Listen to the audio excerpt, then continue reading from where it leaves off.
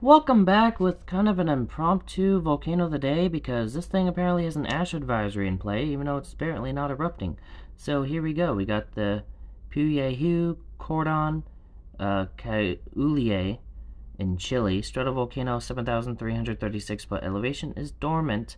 Has been since 2012, at least to my knowledge. Um, anyways, and yeah, we got that. We'll get to that in a bit. Anyways, Poyehue Cordon Caulle volcano in central Chile is a complex of two volcanoes, Pahuye volcano and a fissure system of Cordon Caulle. Uh, Pahuye volcano is a 2.4 well has a 2.4 wide summit caldera. Yep, 2.4 kilometer wide summit caldera, but historic eruptions occurred at the uh, Cordon Caulle Rift Zone. The Cordon Caulle geothermal area occupies a 16 by 13 kilometer wide depression and is the largest active geothermal area in south in the southern Andes.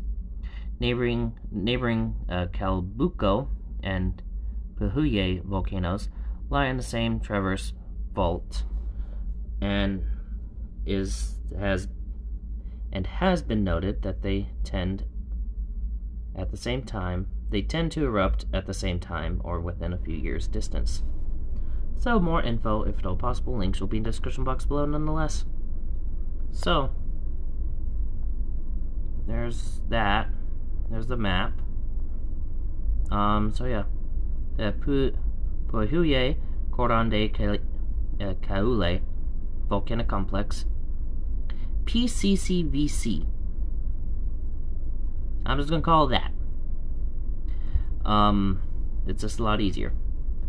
Is a large northwest to southeast trending late Pleistocene to Holocene basaltic to rhyolitic tra transverse volcanic chain southeast of Lago Ranco.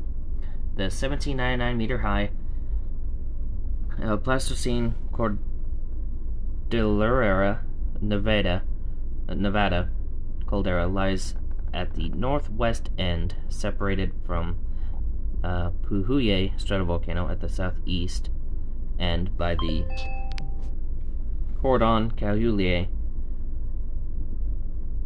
fissure complex. The Pleistocene Met, uh, Menchaca volcano from Holocene flank lies northeast of Pahuye. The basaltic to rhyolitic Pahuye volcano no, Puhihu, Puyihu volcano is the most geochemically diverse of the PCCVC. The flat-topped 12, uh, 22, 36 meter high uh, volcano was constructed above a 5 kilometer wide or 3.1 mile wide caldera and is capped by a 2.4 kilometer wide summit caldera of Holocene age. Lava flows and domes of mostly rhyolitic composition are found on the eastern flank of Poihuye, uh. I'm never pronouncing this correctly, just bear with me. Um, in historic eruptions originally attributed to Pohuye, um, including major eruptions in 1922, well, 1921 to 22, and 1960, and are now known to be from the Cordon Caulle Rift Zone. So, you got some eruption information. We're going to get straight to it. Um, volcanic ash advisory, so we'll get to that after. But, so, looks like there was an eruption soon after that major 9.5, 9.6 magnitude quake.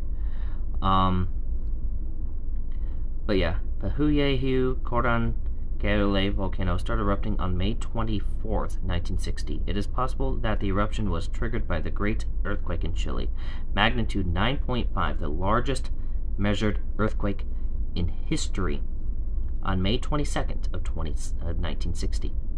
The eruption started with a powerful explosive subplinian phase, which formed an ash cloud column that reached 8 kilometers. Well, that, that yeah, the, 8 kilometers high.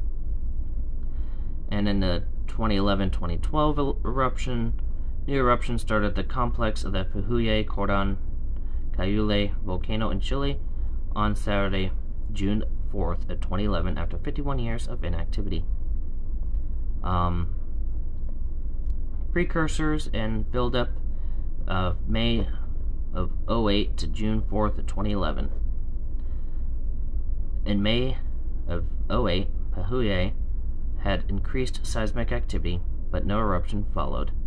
Uh, seismic activity increased again in late April and early May of 2011. A column of gases was observed, observed rising from, from Pahuye on April 26th, and the alert level of Saran Nedgeomin was raised to 3. On May 5th, Saran Nedgeomin first detected earthquakes, typical for magma moving at depth. The earthquakes were located 2 to 5 kilometers beneath the southeast flank of the volcano. Seismic activity continued to rise during May. On June 2nd, seismic activity alerted raised sharply and the alert level raised to 4, yellow eruption likely in the near future days to weeks. On June 3rd, seismic swarm of 1450 earthquakes was measured, with more than 300 being larger than magnitude 2. There are still no visual changes at the volcano. Uh, early June 4th, red alert 5 out of 8 was given, eruption imminent, after further increase in seismicity and evacuations in the areas around the volcano began. The seismic activity had evolved to tremor of high energy, interpreted as magma movements inside Cordon Caulle at depths between 1 to 4 kilometers in the last six hours before the eruption. An average of 200 earthquakes, 230 earthquakes per hour were registered, 12 of which were greater than a magnitude 4, 50 higher than 3, and the largest was felt was a felt earthquake at 8:36 a.m. local time with a magnitude of 4.4. Residents reported up to 20 earthquakes felt on Friday evening and Saturday morning. About 3,500 people were evacuated. And an eruptive, the explosive eruption began on the afternoon of June 4th, Saturday, and produced a 12 kilometer high, high ash column drifting east into Argentina. Heavy ashfall, like a snowstorm, according to interviews, occurred in the city of Bariloche in Argentina, and its airport was closed.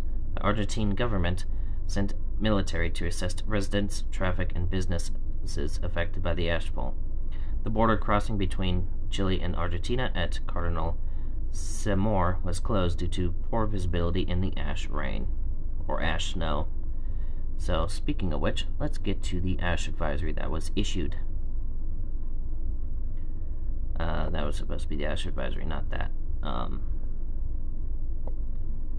so, we'll get to the ash advisory. There we go. This was posted today. No volcanic ash detected. So why did you issue it? Was it a test? Um,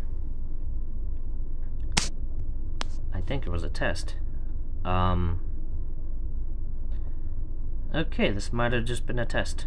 Um, yeah, no further advisories. So, just a test advisory. It just threw me off. So, anyways, with that, links will be in the description box below. That does seem to be it for right now. Stay safe out there.